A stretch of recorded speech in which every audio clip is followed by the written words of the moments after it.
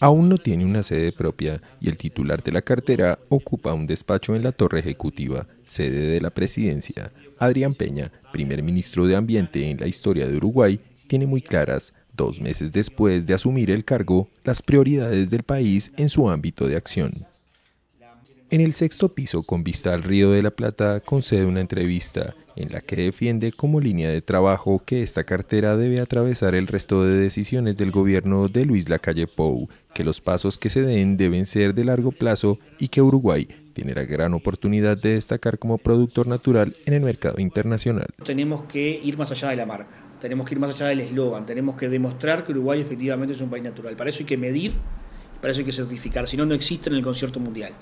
Y ahí tengo puestas muchas pilas, muchas baterías en tratar de coordinar todos los esfuerzos que se están haciendo a nivel nacional, que los hay, pero todavía dispersos. Según el ministro, la importancia que tiene para Uruguay la exportación de productos como carne, arroz o soja pone el foco en certificar, entre otros aspectos, la huella de carbono o la atención que pueda provocar con otros ministerios el uso de plaguicidas. Nosotros seguramente, en muchos casos, no vamos a ir alineados con la política productiva, no tiene por qué pasar.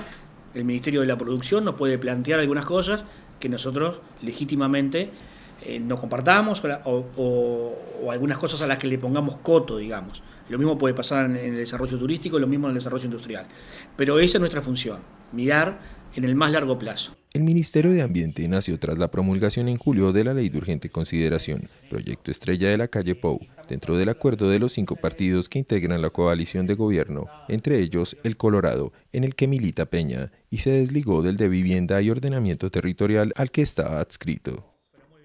Además de formar un ministerio, lo que implica la reunificación de direcciones, aclara Peña, quien asumió el cargo el 27 de agosto. Las otras grandes líneas de acción de su cartera son el agua y la gestión de los residuos.